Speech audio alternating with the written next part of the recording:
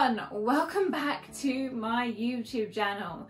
Uh, it's been a while, I think. It's been probably, uh, it's probably been over a year, um, so it has been quite a long time. So for those of you who aren't subscribed, which is probably the vast majority of you at the moment, but I hope after this video you'll change that into a subscribe.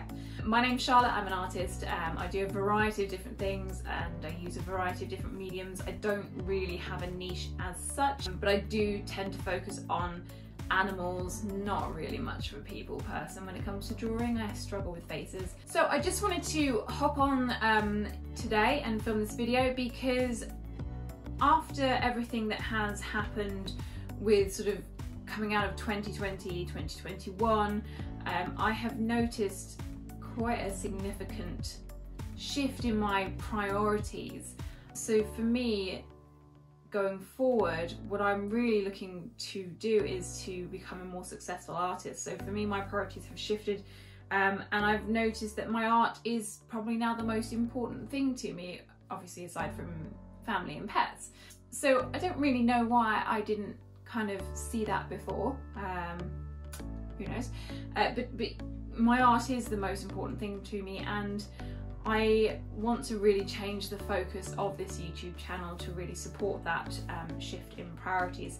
So this channel is going to be more focused on art. We're going to be doing hauls, tutorials, unboxing, tips. We're to have a little bit of business in there as well because I do love a bit of business. And so it's to be a lot of good fun stuff that we already kind of love, um, just that the focus is to be a little bit more art based rather than things like TK Maxx hauls, although I do love a good TK Maxx haul.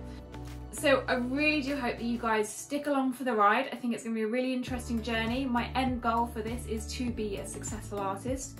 Um, so for those of you who are starting out in their creative journey, please do hit that subscribe button, give us a thumbs up. I'm on TikTok and Instagram as well, so I'll pop the links down in the comment box if you'd like to head over there and take a look. That would be absolutely wonderful. I'd really appreciate that.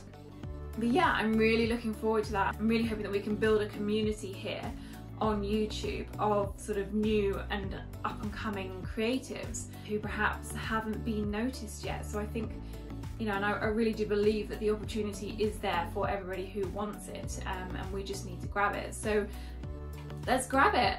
Please do hit that subscribe button. Please join me on this journey. I would love to have you along with me.